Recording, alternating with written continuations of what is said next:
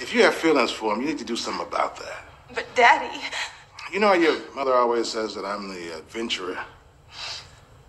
Did you know that when we met, I didn't have a pot to piss in? I never told you this, but your grandparents threatened to disown her if she married me. But she defied them and we ran off together.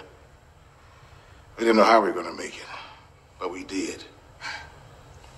And the folks eventually came around. The point is, love is an adventure, Kenya. It's not a decision you make for others. It's a decision you make from the heart. Anyway, the boy's just white. He ain't a Martian.